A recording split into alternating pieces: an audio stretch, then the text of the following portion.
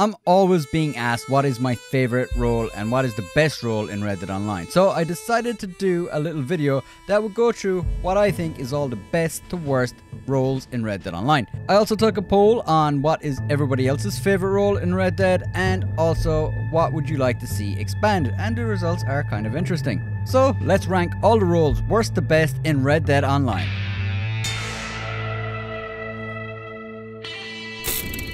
Before we get into the video though, I want to tell you about the sponsor of this video, Ridge Wallet. They're actually running a special promotion from today right up to the 7th of December 2021, where if you use my coupon DIRTY, you will get 15% off. This is perfect timing for those of you who may have been thinking of getting this for a Christmas gift for somebody, and it really is a great little wallet.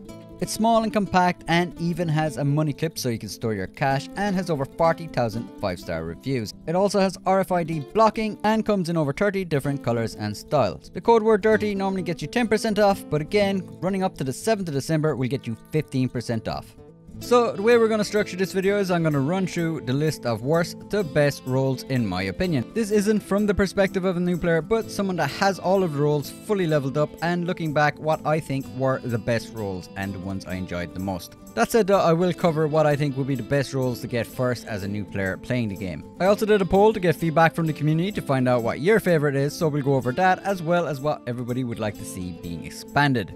Be sure to let me know your thoughts below in the comments, and if you like this kind of content, be sure to subscribe. Okay, so let's start with the first, or the worst role in my opinion. So, number 5 is the Naturalist role, which I don't think is going to be a shock to most people, as this is the one role that does get the most slack in the community. I feel bad saying it is the worst role, because the truth is, I do like the role, and it does play well with other roles such as the Trader.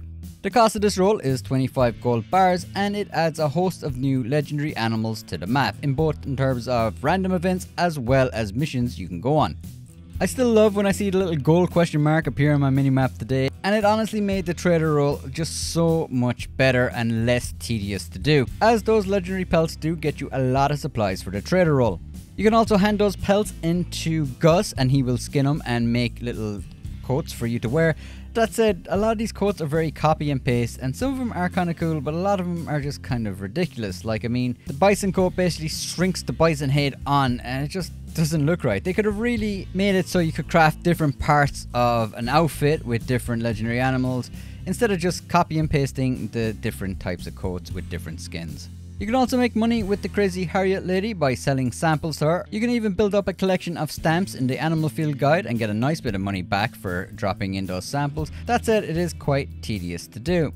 They also had the vitalism studies, which allowed you to become a certain animal for a limited period of time, which kind of could have been a cool idea, but they really shot themselves in the foot.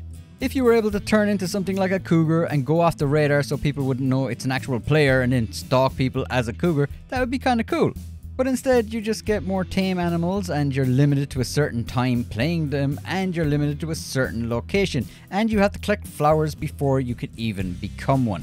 It's too much hoops to jump through just to play for a couple of minutes as a bunny rabbit, so you might do it once to see what it's like and then just forget about it.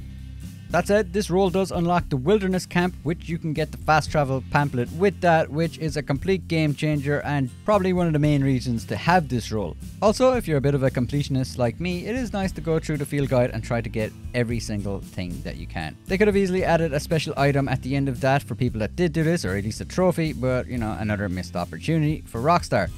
Overall, I think the Naturalist role could have had a lot of potential, but I just don't think it was executed correctly at all. And although I wouldn't be completely opposed to an expansion of the role, as I think there could be a lot of potential in it if done correctly, but at the moment it's coming in at number 5 on the role rankings. Number 4 on my list of ranking the roles is the collector role. It costs 15 gold bars, and although it is a really good role to get at the start if you want to rank up quick and get some cash, it just, to me, is not the most exciting of roles. The reason I put it at 4 and not 5 is because I do like the fact that you can rank up and get XP very quickly, which for me comes in very useful when I want to unlock all the items for a quick draw pass. And although the initial buy-in for all the equipment is quite high, once you have everything, you start making a lot of money. And once you have the collector role, money just doesn't seem to be an issue after that. Because even if you're not explicitly searching for things, you're just looting items off people and it all adds up and it does make money very easily for you. A lot of those collections as well have like fixed spawns, so if you look through those collections to see what items you need, you can go on and find an interactive map online, then find the ones that you need and just complete those collections. That said, uh, this this role becomes kind of redundant once you have a certain amount of cash, and after that, you're just not going to be bothered because it is quite grindy and it is probably the more boring of grinds in the game. At the start, though, it is definitely interesting because it'll take you to some cool areas in the map that you mightn't have explored before. But as I said, after a while, you just you just won't be doing collections. You also don't get any gold for selling collections or anything, so that's another reason that I'm not a big fan of doing stuff on this role. But it does come in at number 4 because it does give you a chance to level up your character really quick if you ever need to, as well as make some good cash on the way. For number three on the list, it's going to be the trader role. I used to absolutely hate the trader role at the start because it was so tedious. But thanks to the naturalist role, the trader role became much better to do. It can still be a bit tedious to get up to level 5 and level 10, but once you have that ranked up to level 20, it does give you a chance to be able to make a lot of money by selling goods. And with the inclusion of the legendary animals, it doesn't take that long to get supplies at all. What really brought this into third place though was the camp upgrades you can get. For any high level player that has pretty much all the guns, you really do need the gun locker to store the ones that you're not going to be using there.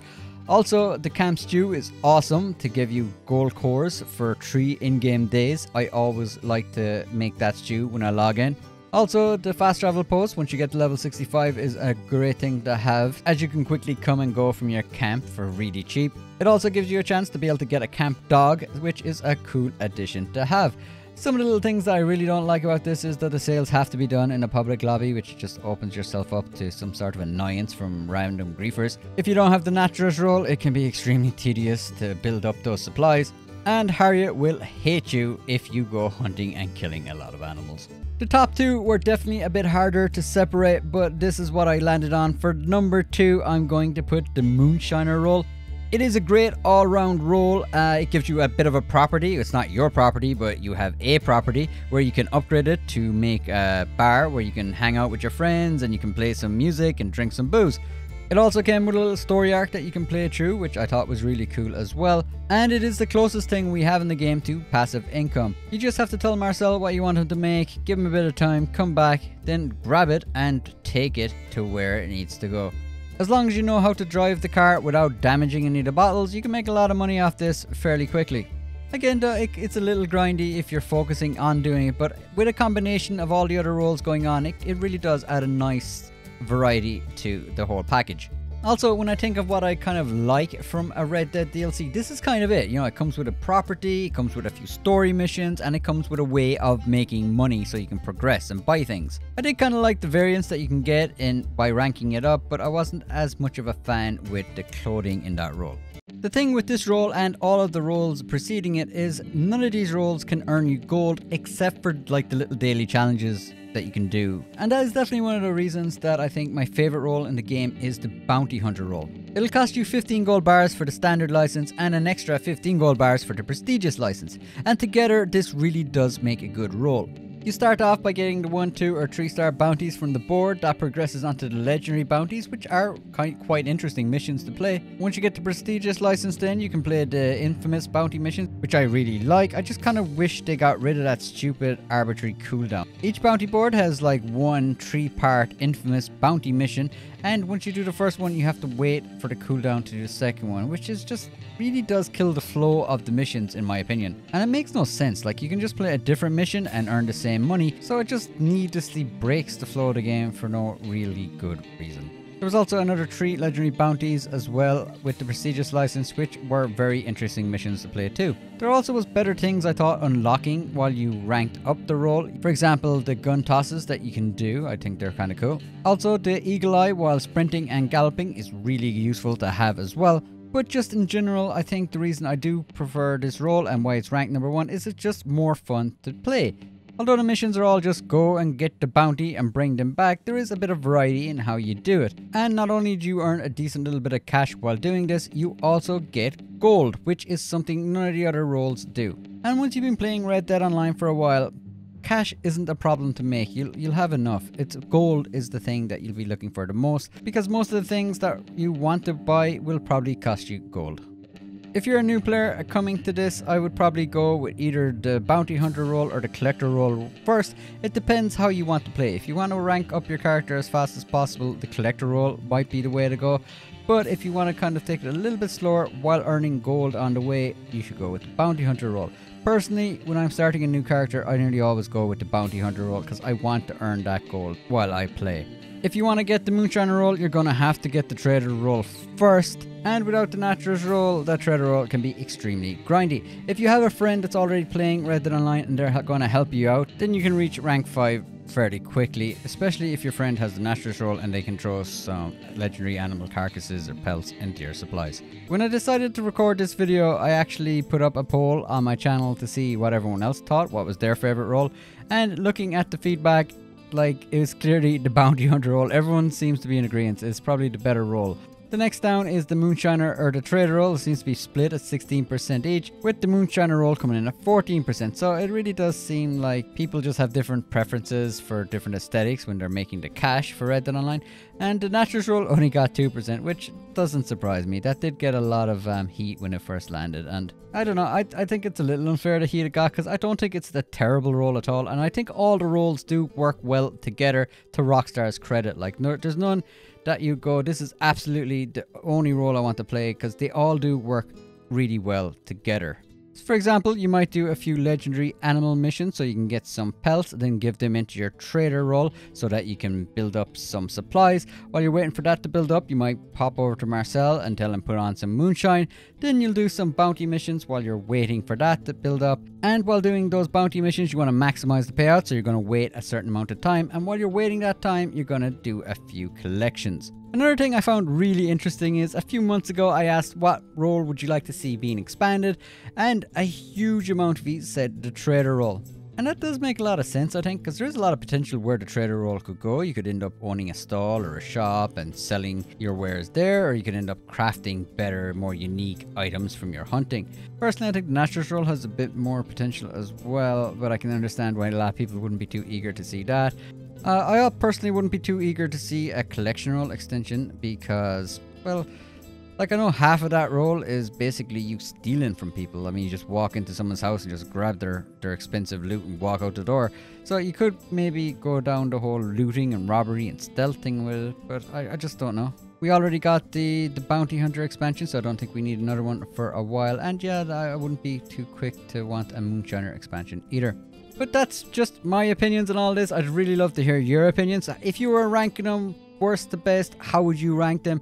And also, let me know below in the comments what role would you like to see getting expanded if they're expanding roles? I do love hearing from you guys and I love reading your comments as most of you know as I do go through the comments and reply when I can. So please do let me know. Massive thanks to everyone who supports this channel, especially to the members. You guys are awesome. And again, thanks for Ridge Wallet for supporting this video. Again, they're giving that 15% bonus right up to the 7th of December 2021. So if you were thinking of getting one, that would be a good time to get it before then.